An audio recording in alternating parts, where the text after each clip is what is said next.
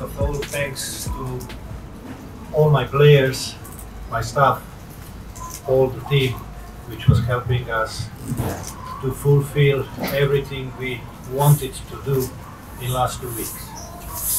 So congratulations to everyone in AIFF. And I'm especially happy because of people in India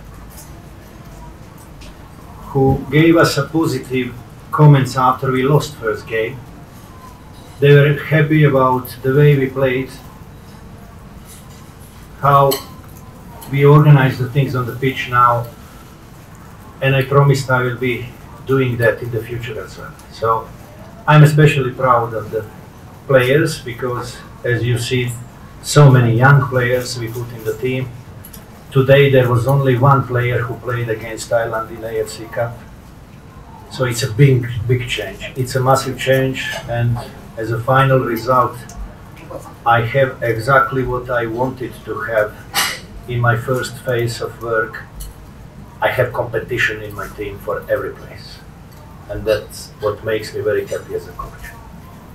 I'll try to be modest always, but to answer you honestly on your question, I was a defender playing on the top level. So I think I can show them a few things and work on their weaknesses and what is that is what we've been doing in the last two weeks. Explaining things to them, working on the pitch, and the result was today massive defending game. Our center backs were so good with the help of the fullbacks and defensive midfielder. That was just fantastic. Clean sheet, nothing to say to them. Just congratulations. I mean, the game could go either way. You know, after we scored the goal, of course, we gave to Thailand possession on the ball. We didn't insist on possession. We tried to wait and hurt them on counter-attacks.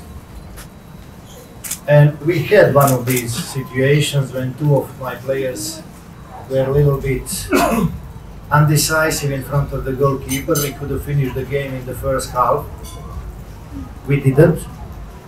And then second half was again Thailand playing well, very organized, coming on the sides, trying to put quality crosses.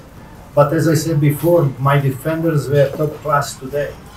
That was just not possible for Thailand to, to score today with my defenders working like this. In AFC Cup game, Thailand had 70% possession, as I remember. Yeah. But in today's game, until we scored the goal, I think that, that we were better in possession.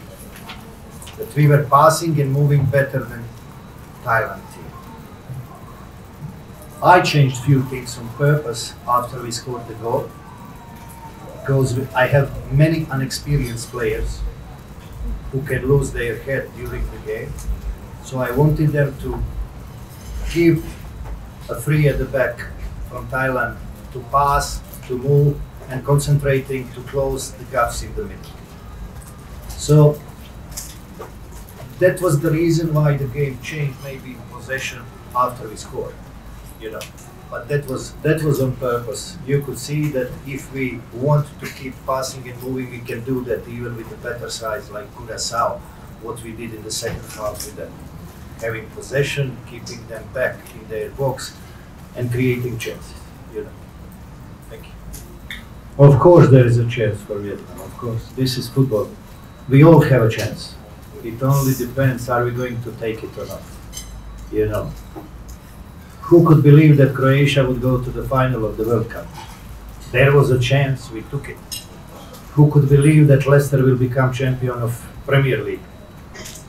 They took their chance, they worked hard, they believed, they dreamed, and they took their chance. Everyone has got a chance. That's why we all love this sport so much. Everyone has the chance.